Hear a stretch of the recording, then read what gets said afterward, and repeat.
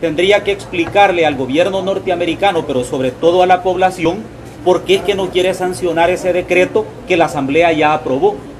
Fomilenio es una deuda internacional que debe honrarse pagándole la contrapartida.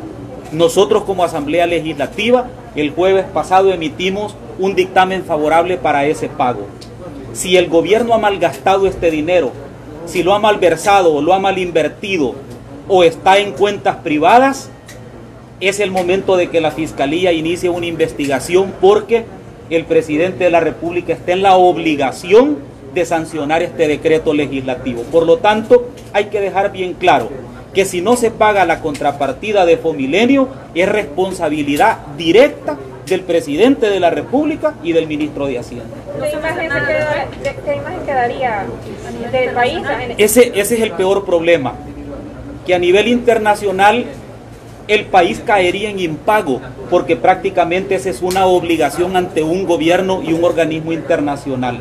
Una vez más el gobierno entraría en impago, esto tiene como, como efecto que las calificadoras de riesgo van a seguir bajando la calificación crediticia de El Salvador, todo producto de un mal manejo que hizo o habrá hecho el ministro de Hacienda y el gobierno de la República.